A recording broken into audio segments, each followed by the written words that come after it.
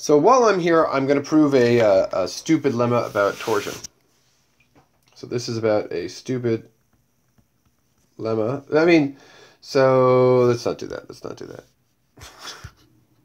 uh, so let's call this, um, uh, so torsion, uh, uh, uh, exact sequences. So torsion of exact sequences is exact sequence when, okay, let's do that. So torsion of exact sequences of abelian groups is equal to exact sequences of torsion. Okay, under the hypothesis that uh, uh, under the under a certain hypothesis that I will now state. So the lemma is the following. It says that if we have an exact sequence of abelian groups, uh,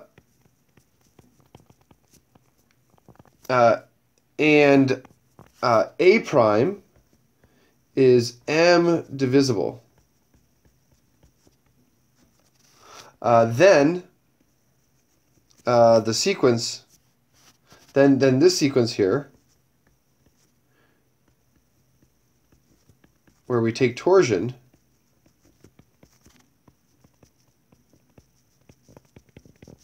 this thing is exact.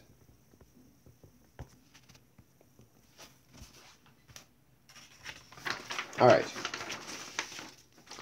So let's do a proof. Okay, so suppose, uh, so, so, okay, so the trick is we're going to use this, this divisibility. So suppose that this map here, okay, uh, let me, let me just say something uh, real quick. Uh, so representability, so note that for an abelian group, uh, so that uh, uh, for a B in abelian group, um, that uh, B, the, the M torsion of B, so this is the same thing as maps here to B. Okay, and so hence, uh, so what, what does this tell us? So this tells us that uh, this functor is representable, and representable functors preserve limits. They don't necessarily preserve co-limits, so the only part that we need to worry about, so uh, so this preserves co-limits, or preserves limits, and hence injections.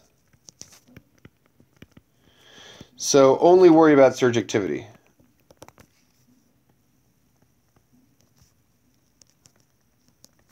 Surjectivity. Okay, and uh, so let's uh, let's let's do this. Okay, so suppose uh, this map is not surjective. So suppose that uh, this map here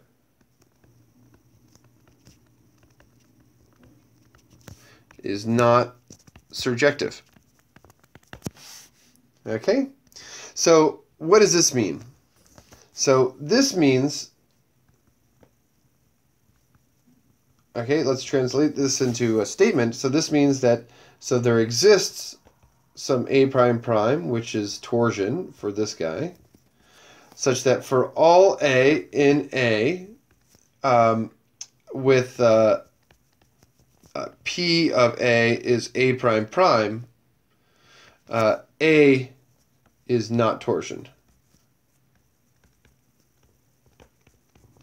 Okay, uh, here what's P? P is, is this map, this map. Okay? So, um, okay, so, so we will derive a contradiction. So derive a contradiction. And how do we do this? Okay, so note that that uh, okay, so since so we'll take some preimage, right? So so so if so let let let A be as above, right? So we're gonna take so let A uh, P of A is equal to A prime prime. Okay? And this is an M torsion element, right? So since, uh, we'll, we'll do this, so since P of MA is equal to MP of A, well, this is equal to M A prime prime, which is zero, uh, we have, uh, we have that uh, MA is equal to A prime, an element of A by exactness, right? Okay, also, um, also, at M, A is not zero. Uh, so as uh, as A is not M torsion.